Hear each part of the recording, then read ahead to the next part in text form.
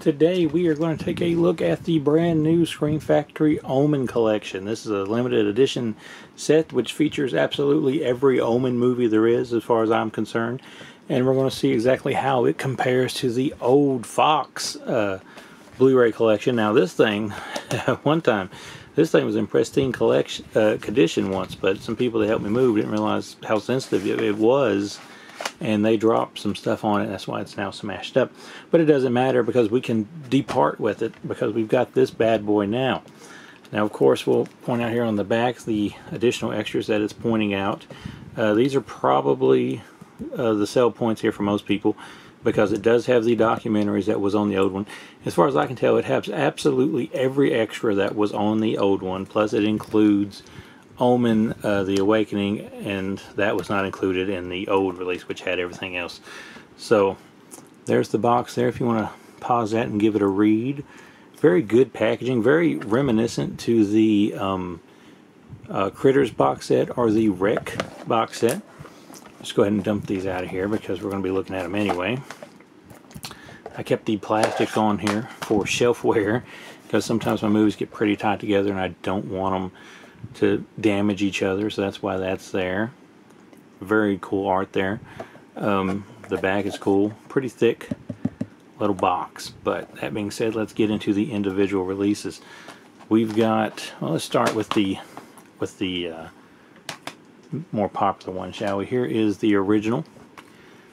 That is the cover for it.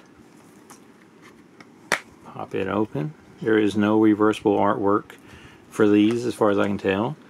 There's your list of extras. New 4K remaster of the film. That's probably like the big thing, the big selling point for this.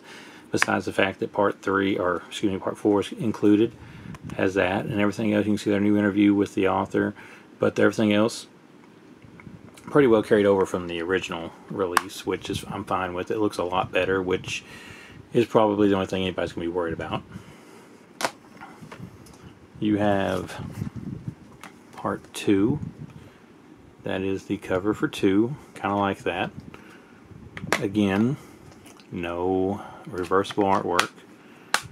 There is your list of extras. And you might notice that it kind of seems like the extras get lower and lower as we go along into the sequels, but that's okay because the films kind of get worse and worse as they go along, although I do argue that two might be as solid as one in some degrees. There that is. Number three. Final Conflict. Damien still on the warpath with this one if you haven't seen it. Uh, new interview there for it. Everything else, new audio commentary. I don't believe we had an audio commentary. or Maybe we did. Maybe we had this audio commentary for the old one, but now there's even a newer one. So they really went all out for part three, where I thought part three kind of got a little bit of a raw deal in the original set a little bit. See inside. Now here is, this is the reason to get it besides the fact the Scream Factory and you get the package.